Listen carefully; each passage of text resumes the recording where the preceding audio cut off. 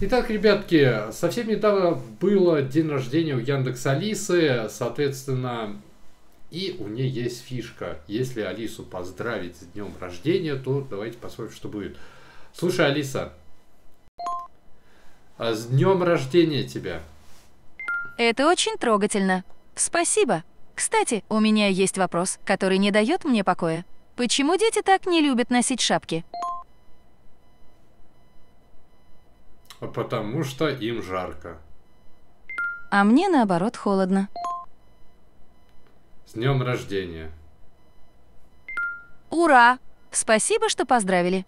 Заодно ответьте мне еще на один вопрос. Почему мужа графини называют графом, а не графином?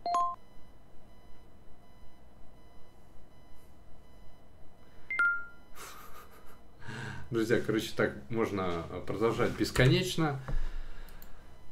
А, она задает вопросы вам, и вы отвечаете. Также, друзья, проверяйте. Днем рождения Алиса. Я еще помню, на своем канале делал обзор, когда было не Яндекс Алиса, а Яндекс Строка.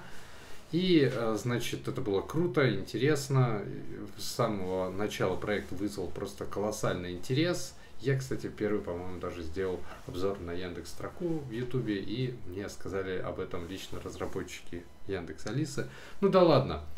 А, соответственно, ссылка в описании, друзья. Как всегда, задавайте вопросы Алисы. Помимо этого, она может а, запусти погоду на карте. В реальном времени. Мне не удалось определить, где вы находитесь. Вот черт. Ну, короче, друзья, какой-то сбой она не узнала, а, а, где я нахожусь, но она в другом ролике прекрасно запускала карту. Слушай, Алиса, открой диск C. Вот. Вот, открывай диск C. И помимо этого она еще может и э, перезагружать ПК. Я этого, естественно, делать не буду сейчас. Ну, короче, огромные возможности есть у Яндекс Алисы. Огромнейшие просто.